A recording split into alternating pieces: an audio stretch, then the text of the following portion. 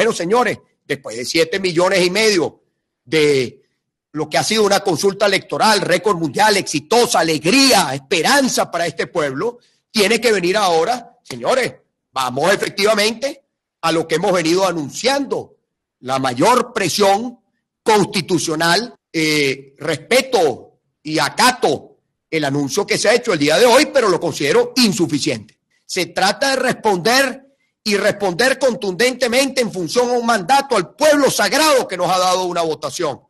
Y ayer el pueblo dio un ejemplo, una demostración clara. Bueno, señores, hay que apretarse el, pantalón. Yo no he cambiado en mi forma de pensar. Yo lo dije, aquí nos cerraron todas las puertas democráticas, todas las cerraron. Y si nos cerraron todas las puertas democráticas, a un pueblo que le cierran todas las puertas, tiene que irse a la calle a defender sus derechos.